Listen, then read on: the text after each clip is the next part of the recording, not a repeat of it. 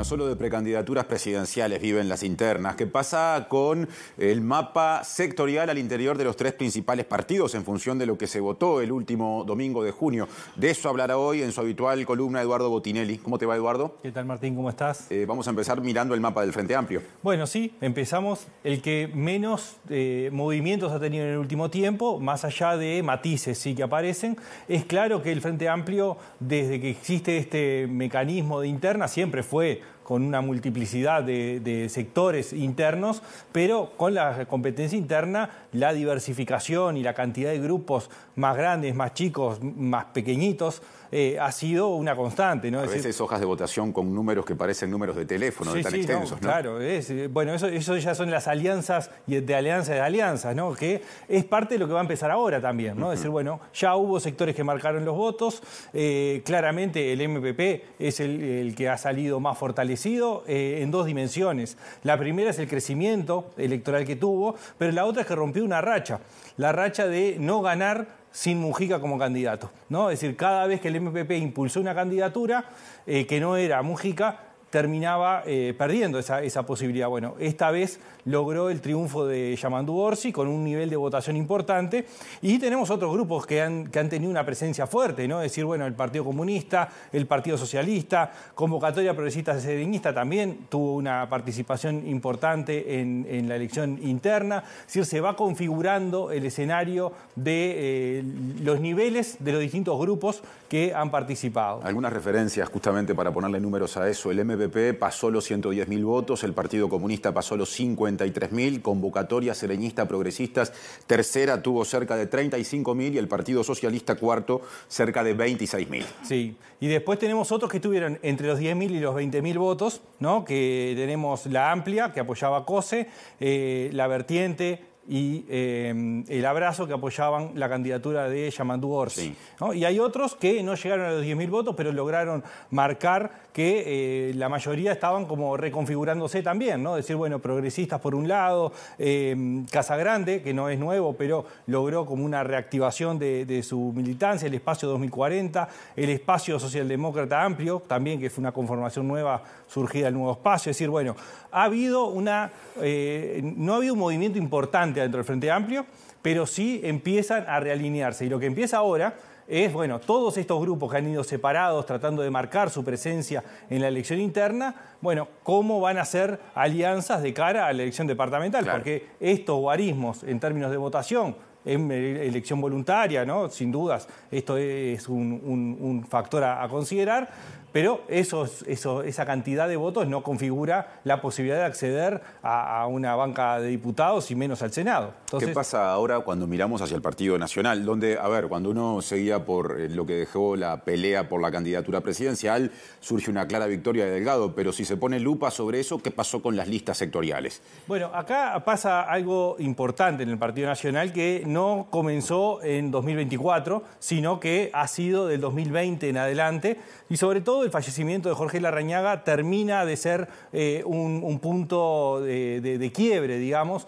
en lo que es una hegemonía clara de Luis Lacalle Pou. Es decir, ya no es los sectores o las listas, sino hay una hegemonía personal. Y eso para el Partido Nacional, sin dudas, es un desafío porque está dependiendo mucho de la persona y de lo que se nucleó alrededor de la persona. ¿Cuál le pusiste un nombre a ese fenómeno? Bueno, eso es el luisismo, digamos, ¿no? Es decir, sí, el luisismo se ha ido configurando como una, como una corriente hegemónica dentro del Partido Nacional. De hecho, si miramos la campaña electoral, tanto de Rafo como de eh, Gandini, que eran los desafiantes, si se quiere, en realidad se basaban primero en el éxito de la calle Pou para después marcar algunos matices. Ninguno enfrentó ese liderazgo. Y eso está reflejado en el directorio del Partido Nacional, fue reflejado en lo que fue la elección nacional y tiene que ver también una, una reconfiguración que se fue dando y que termina con un herrerismo vinculado a lo que puede llamarse la lista 71,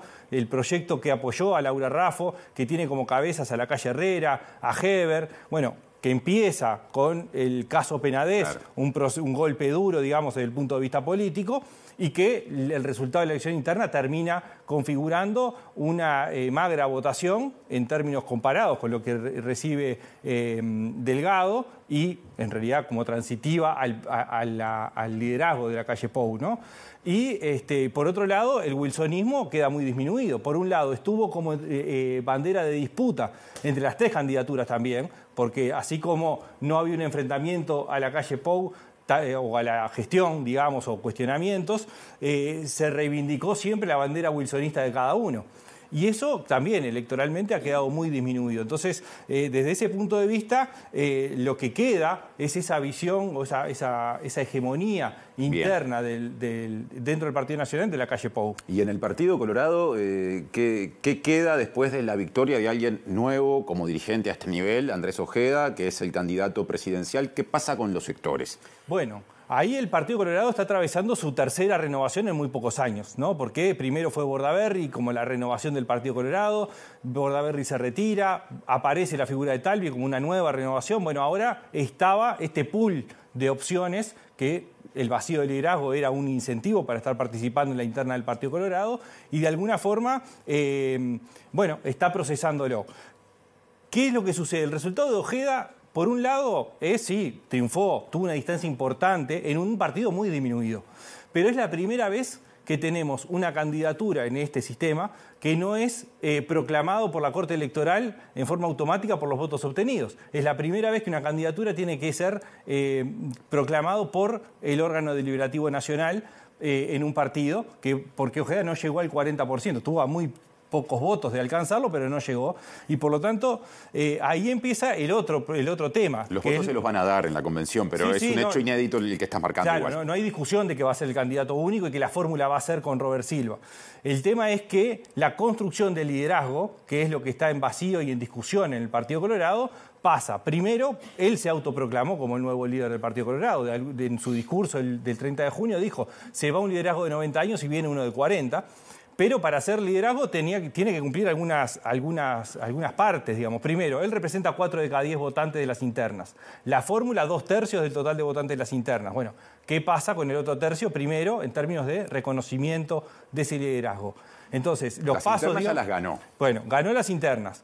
¿Qué tiene? Primero, ser reconocido por los demás, también como, bueno, alguien que está liderando el proceso. Eso parece estar encaminado.